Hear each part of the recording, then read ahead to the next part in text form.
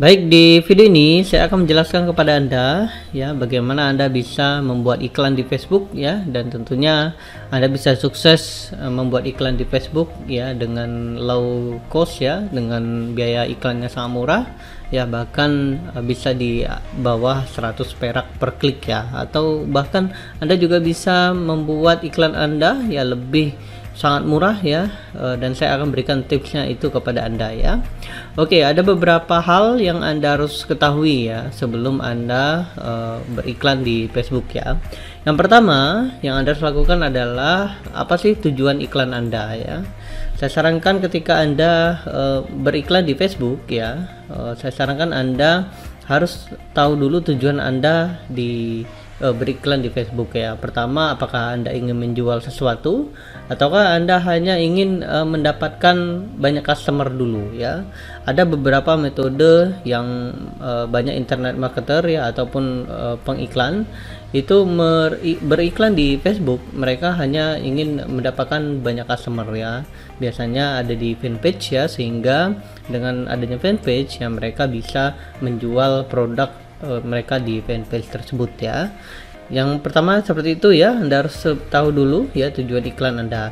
Kemudian yang kedua adalah target traffic ya. Untuk target traffic ini sangat penting ya. Anda tidak bisa menjual produk ya atau mempromosikan produk dengan target traffic yang tidak sesuai dengan produk Anda. Contohnya Anda ingin uh, menjual baju bola contohnya ya, tentu Anda harus menjual uh, kepada orang-orang yang suka dengan sepak bola. Anda tidak bisa menjual uh, kepada orang-orang suka games ya. Seperti itu ya. Anda harus lebih tahu ya apa sih target uh, traffic target market dari produk Anda. Kemudian yang kedua, yang ketiga ya adalah uh, desain iklan ya. Desain iklan sangat penting ya. Sesuaikan dengan produk Anda. Jika Anda ingin menjual baju bola, ya tentu iklan Anda harus eh, sesuai dengan baju bola ya. Nanti saya akan tunjukkan ya uh, beberapa iklan ya dan saya akan tunjukkan di kasus studi. Kemudian yang keempat adalah budget dan penawaran iklan. Ya, tentu Anda harus menyiapkan cost Anda, budget untuk iklan ya, agar Anda bisa mulai beriklan ya. Ada beberapa dua uh, kategori ya dua yang pertama adalah Anda harus menyiapkan uang untuk mentes ya karena kita tidak akan pernah tahu iklan yang paling baik yang mana kecuali Anda mentesnya dulu. Kemudian budget yang kedua adalah untuk uh, menskillnya atau menskalanya ya. Ketika Anda sudah membuat iklan dan berhasil, maka Anda bisa menaikkan budget tersebut ya untuk uh, menaikkan income Anda. Kemudian yang kelima adalah jadwal penayang iklan. Nah, ini sangat penting ya. Anda tidak bisa menjual atau beriklan ya tanpa Anda harus melihat uh, jadwal iklan iklan ya. Pastikan Anda menjual atau beriklan ya uh, di saat-saat uh, orang buka Facebook ya, biasanya jam 9 sampai jam 12 dan jam 7 malam sampai jam 9 malam ya. Dan yang terakhir adalah analisa iklan. Ini sangat penting ya. Anda harus menganalisa iklan Anda ya. Kita tidak akan pernah tahu tanpa kita mentesnya ya. Dan tentu ketika kita mentesnya, kita bisa mendapatkan datanya sehingga data tersebut kita bisa analisa ya dan kita bisa memutuskan uh, apakah meneruskan iklan tersebut ataukah tidak ya. Oke, saya akan tunjukkan ya, ada dua iklan ya. E, contohnya di fanpage ini ya, saat ini sudah 40.000 K ya di berita bola 77.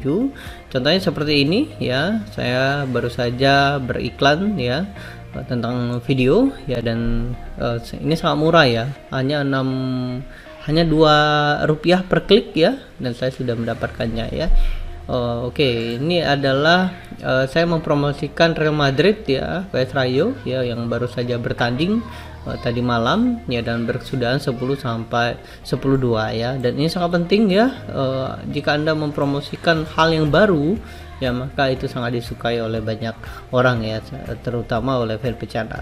Kemudian yang kedua ya adalah seperti ini ya saya menjual produk ini produk baju bola kepada orang-orang yang ada di feed tersebut Anda bisa lihat ya eh, ada 3000 orang ya anggap saja ada ada sekitar 5% ya yang uh, uh, yang berkomentar ataupun yang memberikan feedback ya maka itu sekitar 150 orang ya dan saya bisa menjual banyak baju di sana ya Baik, seperti itu ya eh, cara dan tipsnya ya. Nanti di video lain saya akan membahasnya ya dan saya akan memberikan Anda update terus ya eh, sehingga Anda bisa sukses di iklannya. Oke, sukses untuk Anda.